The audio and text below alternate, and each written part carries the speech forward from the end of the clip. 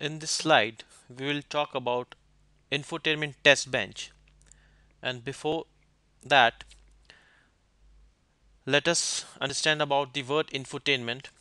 So basically it is info plus tainment.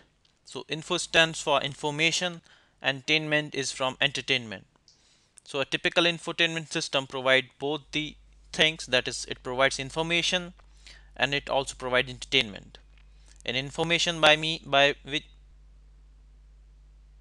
by information we mean information such as navigation and traffic announcement or the emails and the text information which is available from the connected mobile device with the infotainment system.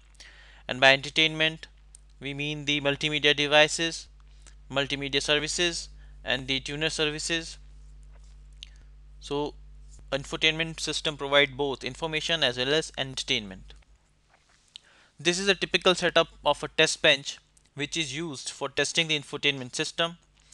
So here you can see we have a slot available for connecting the head unit and we have other peripheral devices such as clusters, speakers, steering wheel control, HMI, dashboard buttons, FM tuner antenna, and the complete infotainment test bench also have a power connectivity which provides the power to the test bench.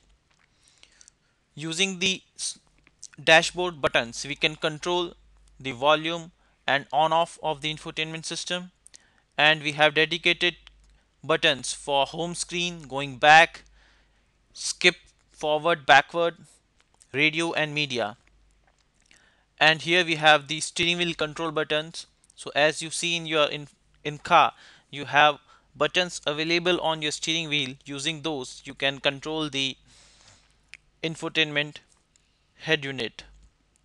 And in, in this test bench you also have ports for USB and aux connectivity. And all the audio are available onto the typically we have four speakers.